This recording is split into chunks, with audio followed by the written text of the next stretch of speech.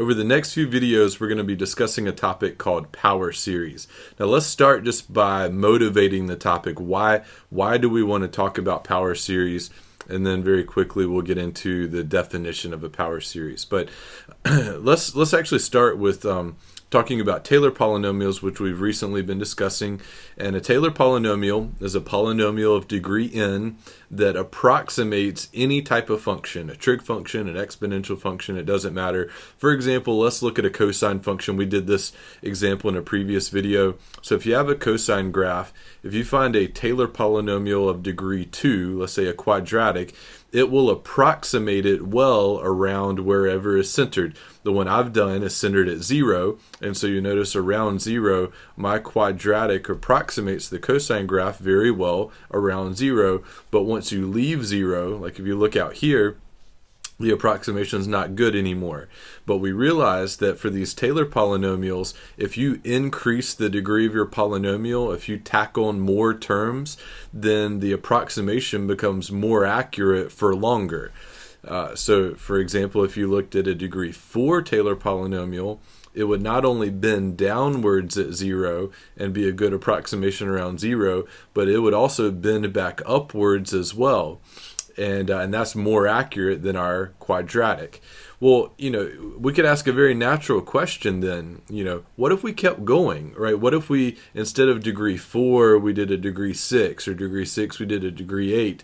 And then, you know, what if we kept going and kept going even beyond that? And with each increase in degree, you'll notice that the polynomial will bend a little more and bend a little more and bend a little more and wind up basically wrapping around the cosine graph.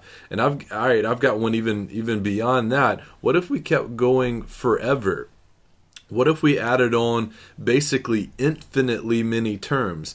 Now, by definition, it would not be a polynomial anymore because a polynomial has a finite degree, like degree 2, degree 4, degree 10, degree 100. But, you know, nevertheless, I, think we see with each increase in power, the approximation gets better and better and better. so this just opens up a whole world of questions. For example, if we go on for forever, does the increase in amount of terms here, as we increase these towards infinity, does it wind up being exactly the same as the cosine function? or is it still an approximation or can we even do that? Or you know it's just this whole world of questions that open up if you continue to add on term after term after term. That's the idea of a power series. And you notice we use the word series instead of the word polynomial because what is an infinite series?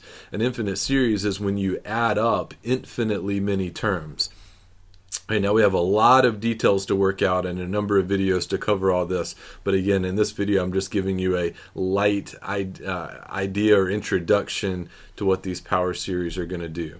All right, so let's look at it algebraically. If this is your Taylor polynomial here, let's make some observations. Uh, if you look at a Taylor polynomial for one function versus the Taylor polynomial of another function, you notice that certain things change and certain things will never change. For example, look at these green terms right here.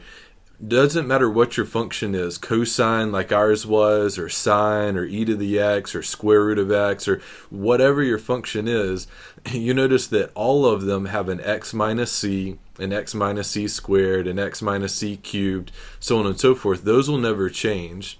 And the only things that will change are the things that depend on f, that depend on the function that's chosen.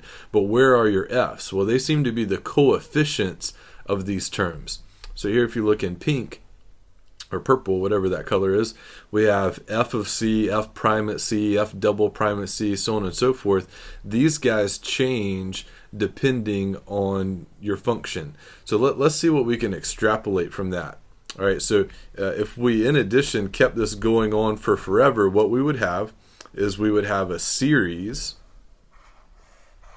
a series going from n equals 1 to infinity, because we're not going to stop at 10 or stop at 12 or stop at 100. We're going to keep going on for forever. The things that will not change is you'll always have an x minus c to the nth power, right? X minus c to a, a, power that's changing depending on your index. Now, what do we do about these things that are changing? Well, they're going to change depending on your function, and uh, the actual term will depend on which term you're at. If you're at the second term, it'll be one number. If you're at the fifth term, it might be a different number. So I'm going to just absorb all those together and just call it just a generic a sub n, a sub n, and that's just a, a, number that depends on n, the number that depends on the term that you're at. And so we can equate these two guys together here, and this is what's known as a power series. This is what's known as a power series. It's an infinite series uh, that has x's in it, which is unlike when we were doing all those tests, the ratio test, the root test, all those type of tests. We didn't have variables in our series at that point, but now we do. And uh, and believe it or not, this is actually a function of x, right? A function of x. So this will actually, in some capacity, wind up being your function right? Um, because this was designed to approximate the function, but this actually winds up equaling the function. And there's a lot of details. I can't stress that enough. I, I'm going through this very quickly. We, we need to talk more in depth about what it means to equal this series and things like that. But just understand that as this approximation gets better and better and better, it will wind up looking like the cosine function or the sine function or e to the x or what have you. Okay, and uh, and so anyway, this is just a, an idea of what a power series looks like.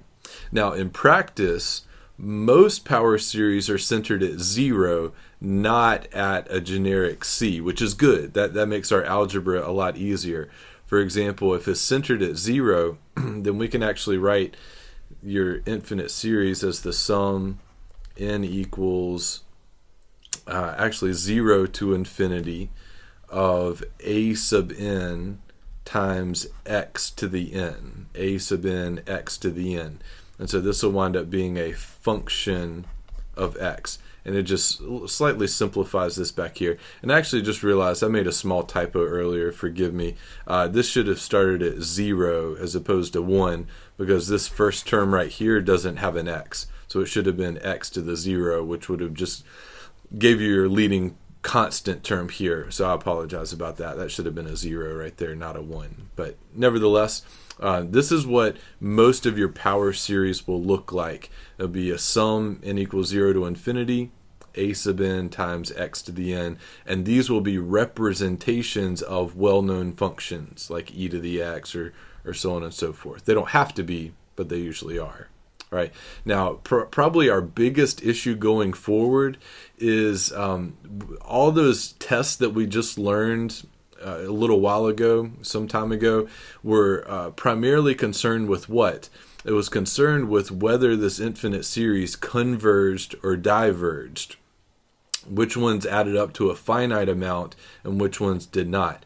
And now the series is not yet really complete until we've chosen an x. So once an x is decided, then you plug in that x, and then we don't know. The series might converge or it might diverge. And so what we have is this issue of the domain of this function. Because if you plug in an x and the series converges, then that x is in the domain if you plug in that x and it doesn't converge, then it's not in the domain of your function. So we have a lot of talking to do about convergence of these power series, but like I said, we'll cover that in another video. So anyway, hopefully this gives you just a, a, a somewhat of an idea of what power series are, what they're used for. Um, in short, they're used to or will be used eventually to represent functions with a series notation that's not an approximation, they'll actually be equal to these infinite series.